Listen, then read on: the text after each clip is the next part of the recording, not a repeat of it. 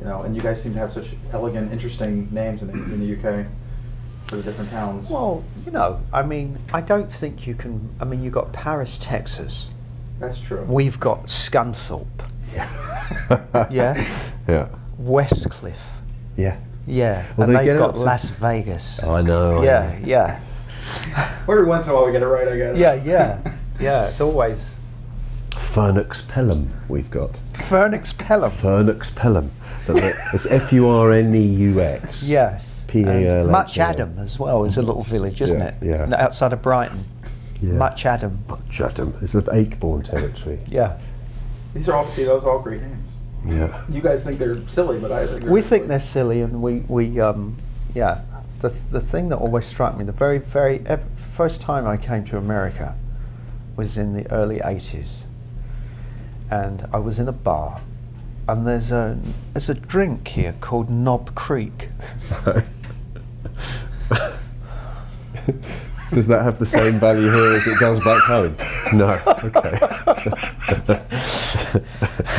Something that happens to you as you get older.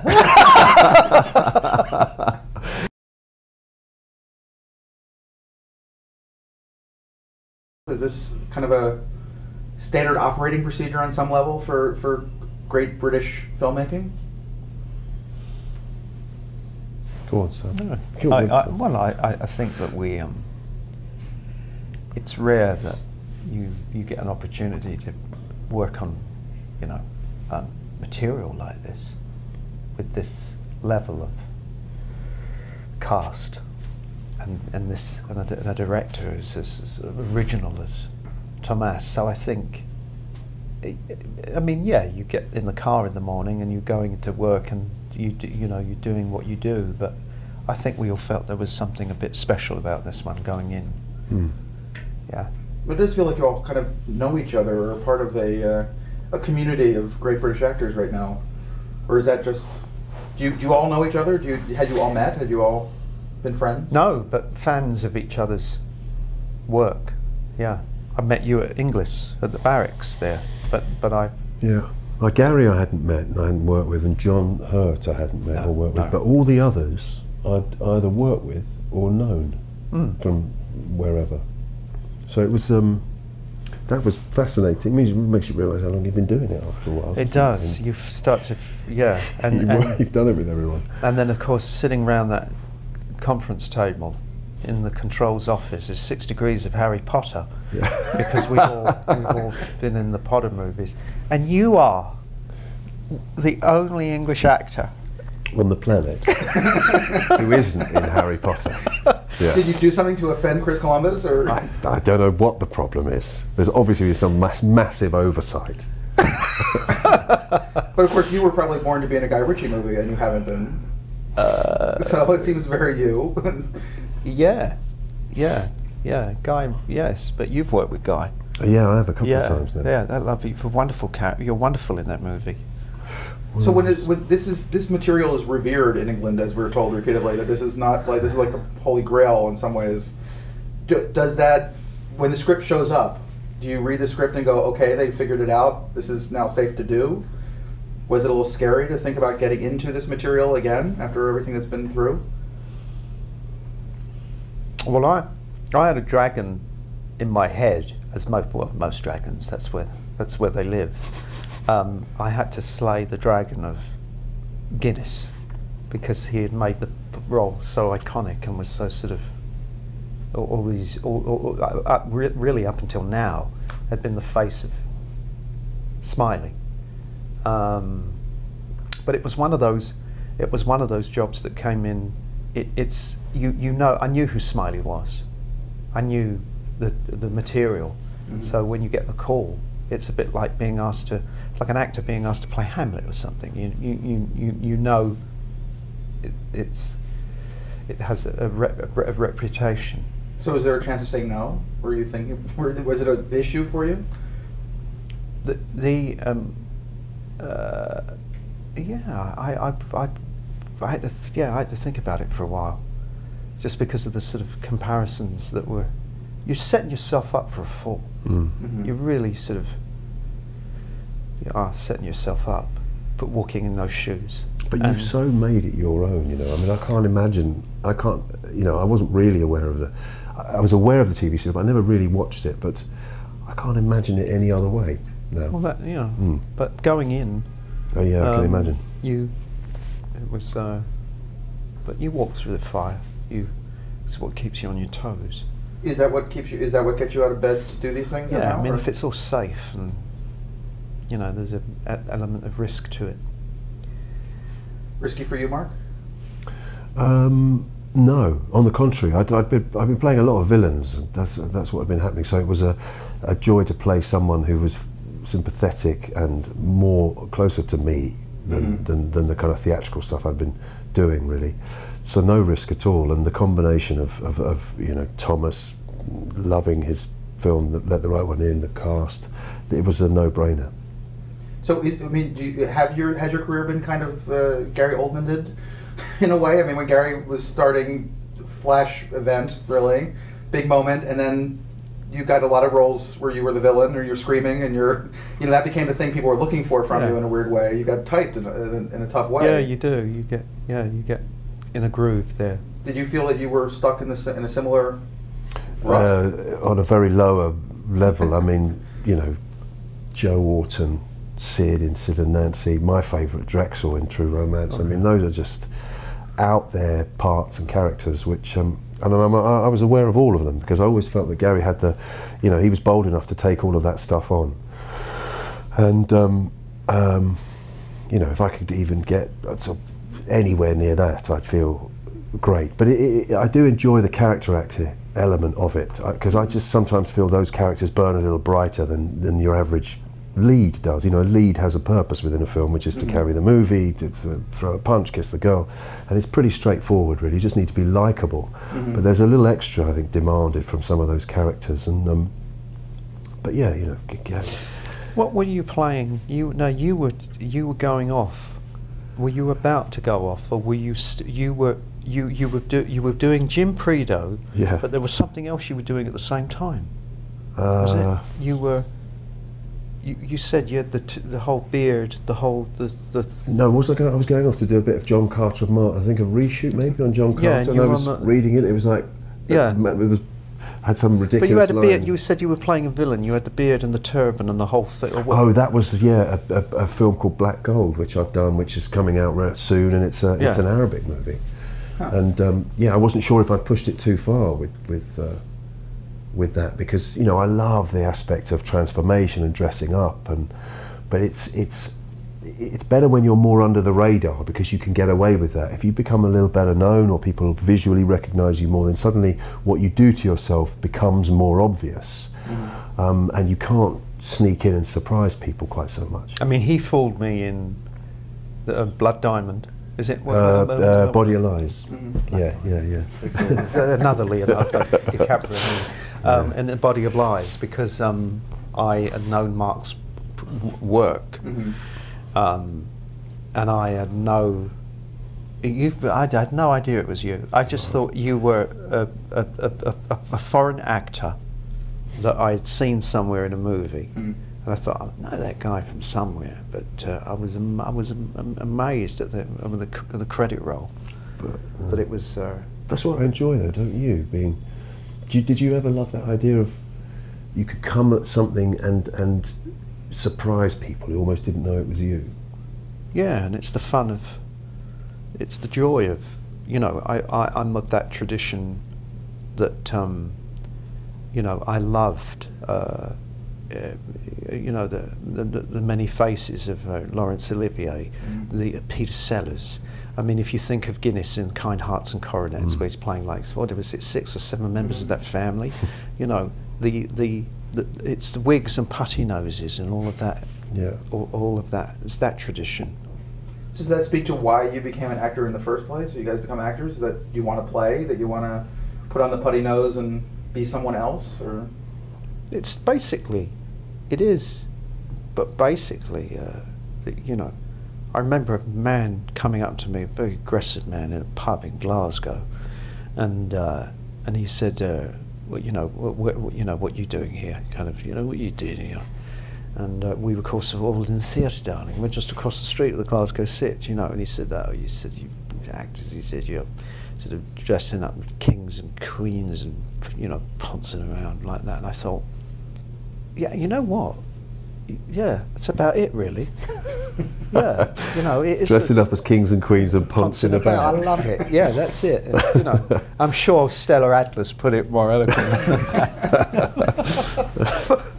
And how do you carry the history of that? I mean, you were- you- Mark brought up, you know, some of your roles from the past Yeah. that obviously are iconic for a lot of people. Mark has become not only a popular actor, but an iconic actor for a lot of, particularly the geek set, is just absolutely anything your name is attached to, they're immediately in love. Do you guys think about it? Do you try to avoid thinking about the fact that there's this kind of cult of personality around both of you at this point? Or well, I tried to basically, I, I, I tried to turn the ship around because you do get a certain, you do get typed, and um, I think it's inevitable. You see it, you see it happen all the time Mhm. with, with, with actors.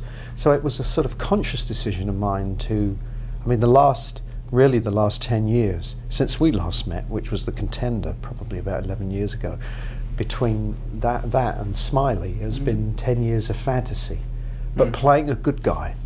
Mhm. And um, so there's a whole generation. Um, I'm sure you found this too. You know, your your fan base goes from 40 to four. You know, and there's a whole new, a, a new generation of people that come through Mhm. who don't know those other parts, Mhm. um, and they and they and they only they know you as the good guy. Oh, You know. That's interesting. So I guess it's like in some ways that's like Guinness too because he he actually did the Star Wars thing and there was a whole generation of kids who would have no idea about his other work. Even Lawrence of Arabia was probably unfamiliar to them at that point. Hmm. That have probably discovered it as they've gotten older. Yeah, he became Obi Wan Kenobi. Yes. I've never really thought of that actually. That the, then, then then your early stuff is you know you get younger fans and they don't know about it. I've never really thought of. I've never thought about that. Yeah, they don't know you as a don't know you as a villain. Hmm. because because it's a you know it's a different just a whole different gener- generation of kids and people coming through. But there's, there's an irony about it. I mean, there's a there's an honourable tradition of Brits playing villains, isn't there? Tony Hopkins and Jeremy Irons and Alan Rickman, and for some reason, that that, that seems to be an in to to Hollywood and American Mhm. movies. And um, I have to say, you know, they're, they're often the most interesting part. So they're not difficult to play, but after a while, it does. You know, people. Uh, if you try and think in your head to cast a movie, you tend to think of people you've seen recently doing the thing that you're trying to cast. It's just Mhm. human nature. You think this kind of part is like that. Oh, what about that guy? You know, and he's. So I, I felt like the last five years or so have been villains, but the 15 years before weren't. Mhm. And and now slowly the supertanker is hauling in a different direction, and it won't be again. And if you've got 40, 50 years in this business, what's what's a few years of playing villains? I remember a very very brief cameo of yours from an episode of Inspector Morse oh, really? where you play a cop. Yeah, yeah, And you're messing him around, and he's Yeah. going, "Jesus Christ, have we really got to go through all of this?" yeah. Yeah. Wow. So, I think that was one of the first things I ever did in front of a camera, actually, on a windy night on the way to yeah, I- Oxford. yeah, yeah, Yeah, blimey. yeah. I know the I know the work, mate. I've done my, done my Oh. So when you get something like this, do you? Is this a research work for either of you, or is this kind of working on the script and figuring out the beats within the, the work as an actor in this case, or how do you guys work? Well, I think ultimately it always comes down to the beats and the script, and, and you know, and how good the material is. If the good, if the material is good, you know, when you're, you know, when you're w- working with good material, you just, if you break a sweat, you're working too hard, and often you're working on material that is substandard. You know, Mhm. I mean, I say often, but you know, you occasionally you're where you feel that you're working so hard for the for the to keep it Mhm. alive and and and with this, um, you know, uh, it, it's so very much. It's a script to me. I don't know, Mark, but it's like uh, your map of the world. You know what I mean? Hmm. If it's if it's if it's it should it should just all the all the signposts and everything they're, they're all they're all there if the writing is good and Mhm. and you have a great source material, which which which you know when in doubt always go back always go back to the book and um, I, I mean, I didn't work much outside of it was one-stop shopping. Mhm. You had John le Carre, who was there if you wanted to talk to him, and, and he had been a spy. So And you did wanna talk to him, I well. Yeah, but that you know so so he is he's lived this world. It's a very personal book, I'm told. hmm Of all of, of all of his books, this is the most personal. I mean that you know that's you know the the the, uh, the, the, the owl or the Yeah, bird yeah. that gets caught in the thing. Yeah. well, that's it, that happened to him. Oh, really? Yeah, but it was his wife that. that took care of it. And, and Wow, I you know, know there's that. a lot of, uh, a lot of, uh, which was Anne, I suppose. Mm. Who was Anne? Yeah. Um, so it was great with this one because you had Mhm. it just all, all, all, all there for you. Do you do? Are you research actor ever? Is that something what, you do? I think you always do sort of. I think it's uh, you do things sort of naturally. I um, I, I'll be very honest with you. You know, I've tried. I've tried to read Stanislavski. I love. I love. I love Stella Adler. I, you know, and, Mhm. I've, and I've read a few. I've just not. I've taken classes, but I've read books and and, and, and things. You pick up little, I, you know, quotes and stuff along the way. But I, I, I started to read Stanislavski, and I just thought, you know, I kind of do this naturally. Mhm. It's just, just you, you, you know, you. But I don't know about. I don't know about research. Do you, depends what you're. It really depends. Depends what you're doing, on Mhm. what you're playing. Or you'd have to go out and find a white drug dealer with a fro- with a uh, with dreadlocks No, to play no, that character. no, it was Tarantino. Yeah. That's all. It's all there for you. Use your imagination. Yeah, it's common sense. if you feel that something is lacking, you go out and find the answer to it. But often you can try a character on and it's all there. You So don't you need to root around to find it. You, you, it's just you know natural. So you've progressed through your careers. Do you feel like you've locked into a method of your own that's become your method, or do you think it just has always been kind of a natural flow of that figuring out how to do it? Well, I, th- I. I think roles present each role It's, presents its own sort of set of hurdles that you have to jump over, you know, and you, like you say, if you feel that you need to go outside of the script, um, you will. If you, if you don't feel the need, then it's, um, I mean, then it's really, it's all there for you. I mean, I'll give you an example.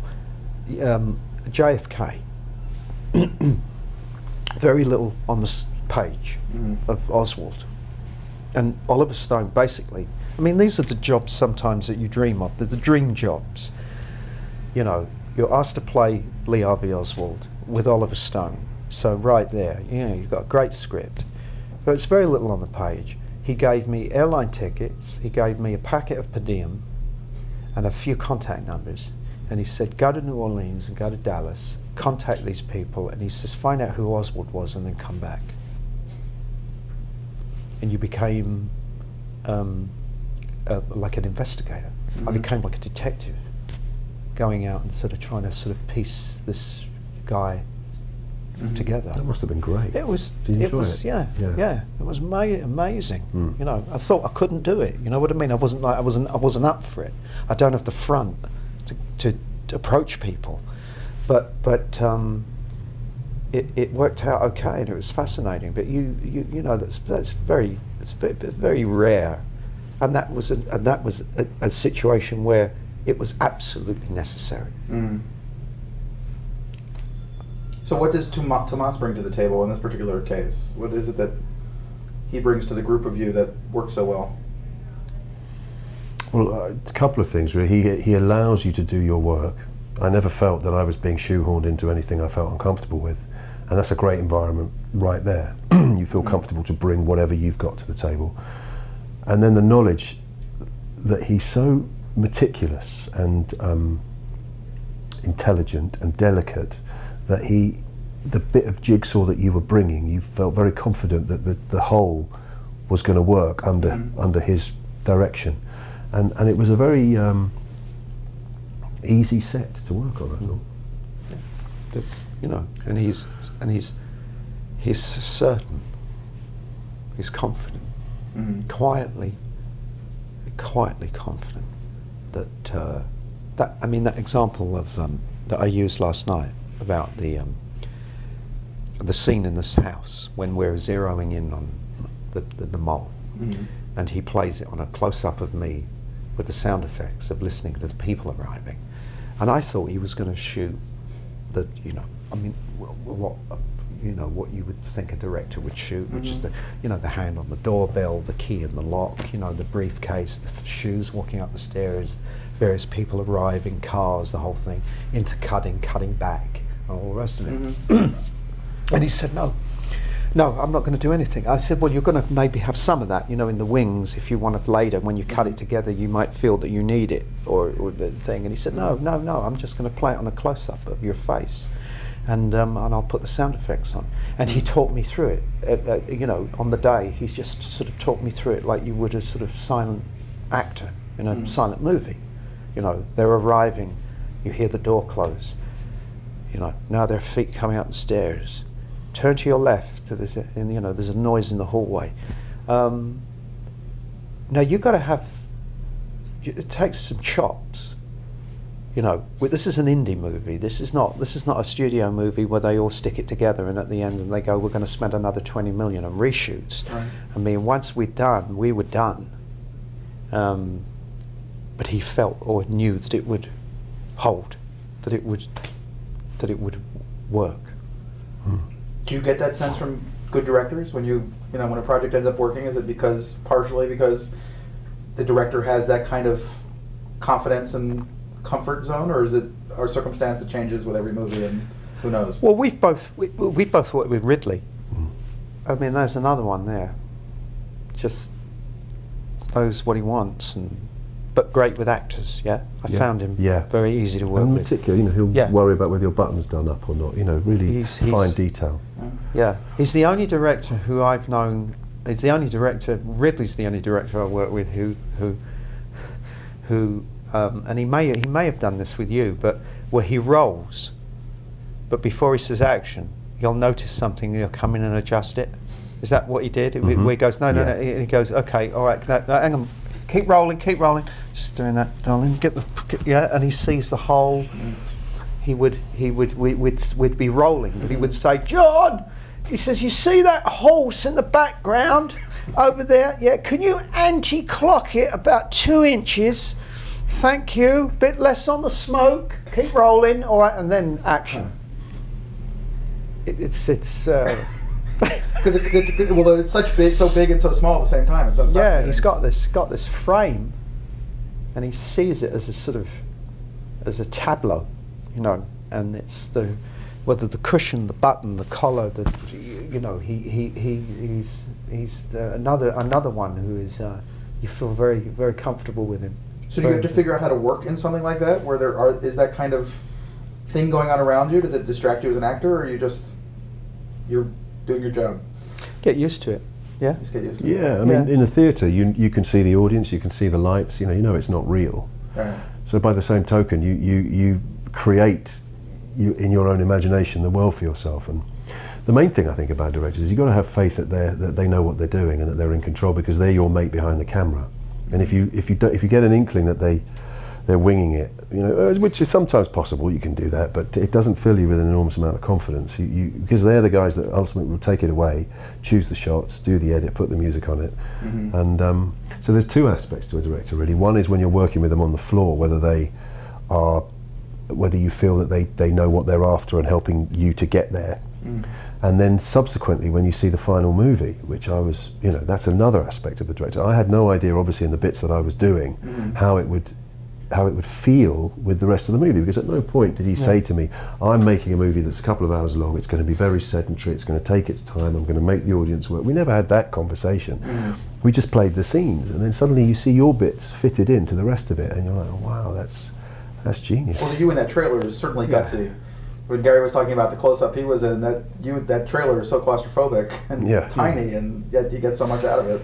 and you know he doesn't Thomas with a with a good a good director knows when not to say something Mm. um, and that's good directing too you know and it doesn't have to be also it doesn't have to be, they don't have to come in with some you know big philosophical kind of conversation that you have to have. You know, you could, you know, Stephen Frears would just say, "How long did that run?" And then the script supervisor would say, "It's it's it's one minute and twenty-five seconds or something." Stephen would say, "Do it again, and take fifteen seconds off it."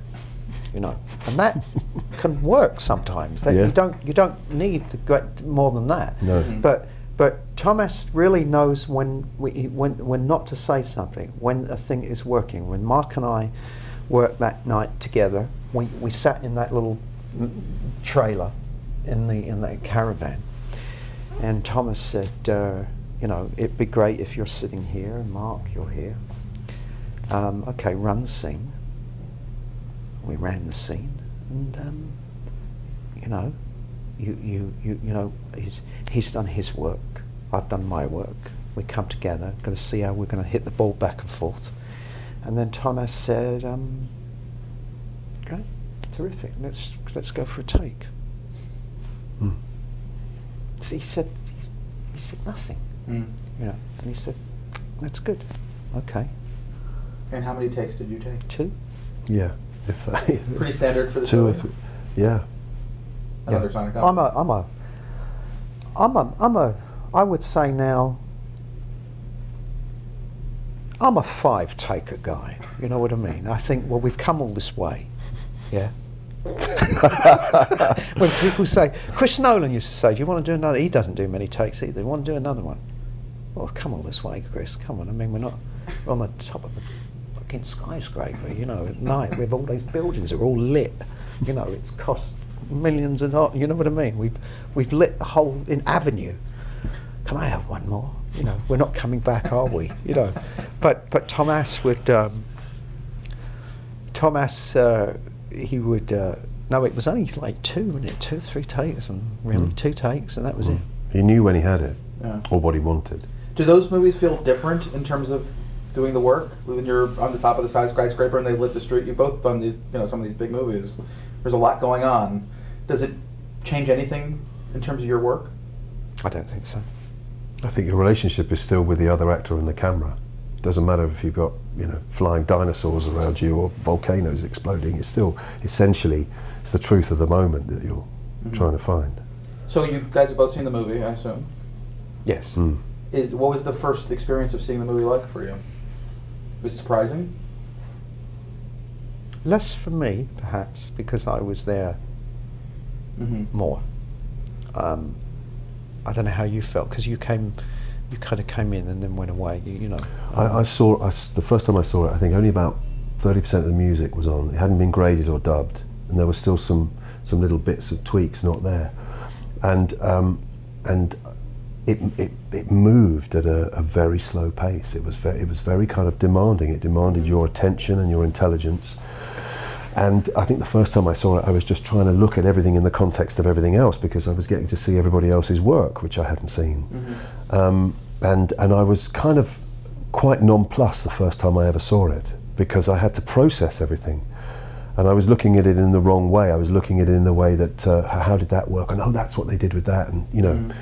And then uh, then the second time I saw it was at Venice, and I was absolutely riveted. And I was there with my missus Liza, who'd also seen it with me at that first screening, and we just we, we just clutched each other's hands. Couldn't believe the kind of the transformation. I don't know. If it was because I'd seen it first, because of those little extra moments, the extra music, whatever it was. Mhm.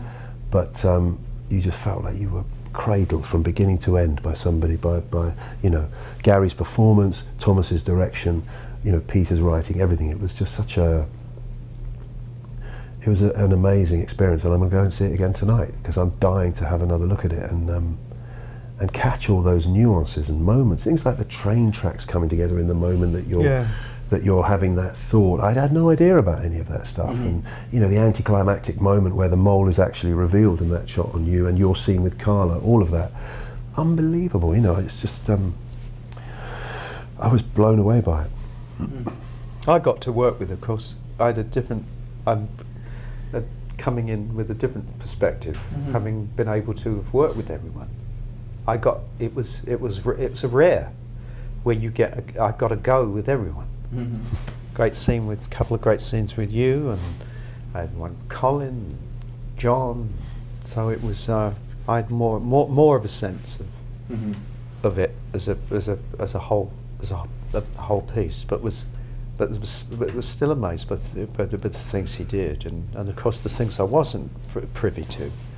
Is that a good, wonderful moment of you and uh, you and Colin at the end Mm. with the with the with the Lumiere, you know. Mm. Well, you know, I've told you that little shift you do in your shoulders is Hmm. you know that's that, those are those are the little things those are the things that you you know you always you always watch other actors you you watch what they do where they'll you, um, little little it could be tiniest smallest gesture um, he snakes into that room kind of comes in sort of like a reptile you know and then you lock eyes across that room with that music playing it, it's, it's you know it's, it's movies Well, it's especially in this cinema movie. you know This movie Yeah. is all of that. You know, that's really what you're watching through the entire picture. Is every little gesture, every little eye movement yeah is very significant. and yeah Given space yeah in an interesting way. You know, we've got T- J- John got it. John Hurt got it really early on. Really? Like, I was, you know, I was starting and and, and, and, and going along, and uh, as you as you you know as you do, and you're trying to find you find your way, and um, and Hurt worked first morning with him. Came up to me and he went, "Got a good feeling about this one." Oh, really? Like this director. Mm. Funny thing is, we talked to the guys from uh, from Mag- Ma- Magno- the Melancholia, the Lars von Trier movie, and John apparently on that set. There's actually it's in the movie, but him talking to one of the actors and saying, "I have no idea what's going on here," and they left it in the movie because it was kind of a funny moment for his character. Oh, I remember that He was actually saying that in real life. That was That was just him at that party. Yeah, Yeah, where he probably just let the camera roll. yeah. Yeah. And I- he really had no idea what Lars was doing, but was having a good time and uh, going for it. So have you seen that? Mark? I haven't no. Interesting film. Hmm. interesting filmmaker. Yeah. I'd hate to meet his mother though. Wow. Obviously, Yeah. has some issues. He got himself into a little bit of trouble, didn't he? Yes. It's not a good business for saying things out loud. Not, not, not, not, not, not, not those kind of things. I wish I'd been there next to him. I'd have grabbed his arm and just said, "Shut up." Yeah, yeah. You have to be Shut up.